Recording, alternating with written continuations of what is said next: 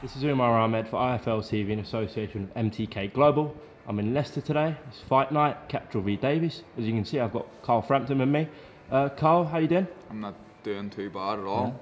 Seen uh, pictures with you and Stevie G at Rangers. Talk to us Yeah, about no. I was up doing something for 32 Red, um, who sponsor myself and Rangers, obviously, and um, a wee bit of footage will be out in the um, next few weeks. Me doing a bit of football, few players, um, trying to box as well. It was, it was good crack. I enjoyed Yeah. it. How was Gerrard meeting? Nice guy, really nice guy, and India's boxing as well, and um, I think he's quite friendly with, with Rocky Fielding too. So.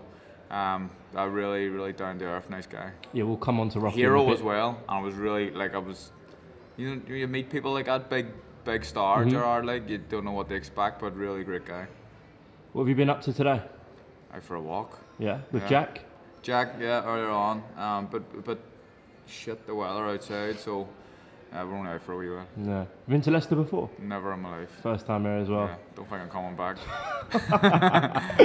Um, yeah, let's talk about uh, Jack Catterall v O'Hara Davies tonight. Jack, the slight favourite with the bookies. How do you see it? I think Jack beats him. I think he beats him convincingly. Um, O'Hara Davies is not a bad fighter, but we've seen before that you know he quit. That's it, the be all and end all. He quit against Josh Taylor. I still think Jack is the show has to show on a fight night his best what he can do. He, uh, he still hasn't showed it yet. He um, what I've seen in the gym.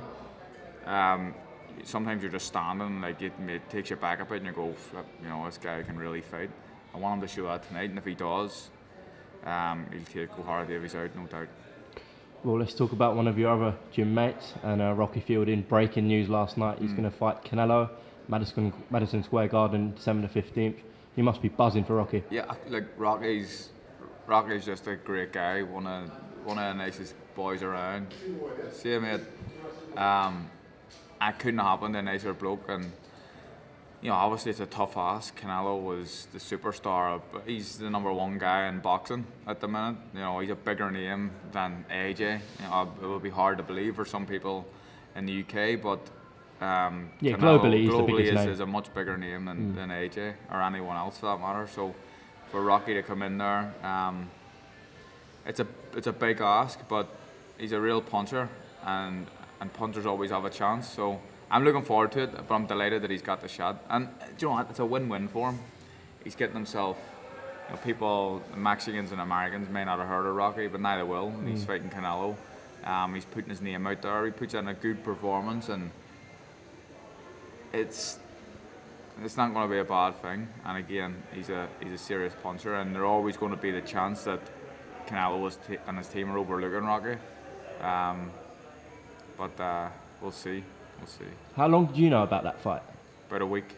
Okay, must have been hard to keep that quiet. It was quiet. really hard because I didn't tell anyone. Um, and yeah, I, I just didn't tell anyone. Didn't want it to get out of the bag in the slightest, and it was great. I like I like the way it just kind of shocked everyone. It was a bit like the Kell Brook Golovkin. Golovkin one. Um, that's the way business should be done. You no need to, you know, talk about it and have these rumours flying about. It's a big kind of shock and a surprise element for everyone. I think it's it's it's a bit bigger when it comes like that out of left field. So, um, fair play to all involved, MTK especially for for getting. Look at look at the, what the fighters are doing at the minute. You know, I'm I'm fighting Warrington, a huge fight. You got Billy Joe getting a massive payday against Andrade. Um, Tyson Wilder. Tyson Wilder, um, Paddy Barnes fighting for a world title and only his what fifth fight or whatever Yeah. it was. Um, they're making big waves and, and obviously Rocky and, and Canelo now. I'll say one thing. I seen it. Can't remember who tweeted it last night. I seen someone tweeting it, and they were kind of just giving credit to Rocky and saying fair play to him for you know taking the fight. But they were saying when the fight with Canelo and Amir Khan was made, you're kind of worrying for Khan Khan's safety. safety. Tom Gray tweeted that. Tom Gray yeah, from I Ring saw that well. It was a brilliant tweet. Mm. But Rocky's a big man, and, and you're not worrying about that with Rocky. Um, and he can handle himself. So I, I thought, yeah, it was a, a great tweet from, from Tom. I've seen some idiots on Twitter giving Rocky stick for saying why are you even taking this fight, but it's a career. They're idiots. That- and that- know, you- yeah. You said it, and that's exactly what they are. Why, why would he not take it? It's a, an absolutely win-win situation for him. A career high payday can you know, help set his family up. He's two young kids and a um, and Jess. He's not married to Jess yet, but um, maybe with a maybe with his payday, he will get married. Mm, sure. You mentioned uh, you and Josh Warrington. Um, great fight for the fans again. BT pay per view. Done all the media tour. How was it? It's all nice, dead civil, respectful. Um, just you know, get on with training now, get the head down, and, and get on with it. Been some year for your trainer Jamie Moore as well. Unreal. One Actually, trainer of the year. It's getting better, isn't it? You know, Mm. it's won trainer of the year, and we've had some big performances. Jack's going to continue that tonight, I think, with a win over O'Hara Davies. I'm going to do uh, what's his name, Josh Warrington, and uh, and then Big Rocky Fielding's going to shock the world and chin Canelo. Let's see. That's that's a year. That's a year that. What a year that is. What a year.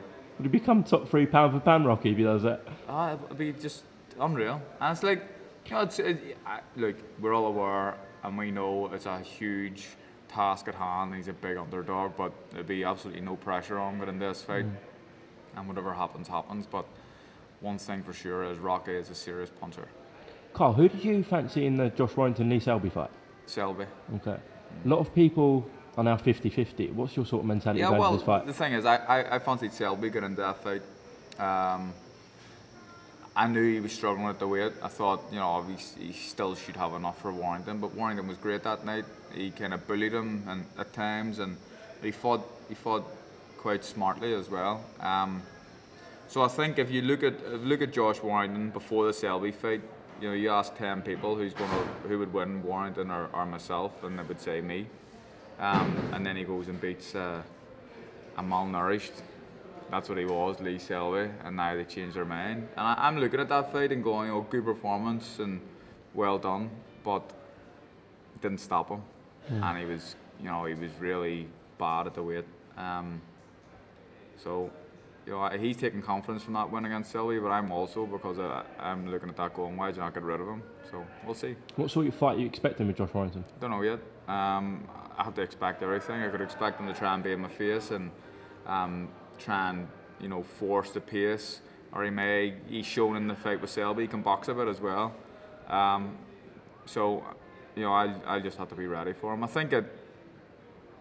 I don't think it's going to be an easy fight, but I just think if I'm if I'm on it, which I intend to be, then then I win the fight, and I, I think I'll win it convincingly. When was your last pay-per-view? Was that Scott Quigg? Scott Quigg, yeah. Yeah, happy to be back on box office. Well, it's just big fights, isn't it? And, and again, it's a bit of uh, bit more security for, for myself and my family, which is the most important thing in the world to me. So, um, and these are the, these are the times you get well paid. So, um, yeah, I'm happy to I'm happy to be fighting for, for good money.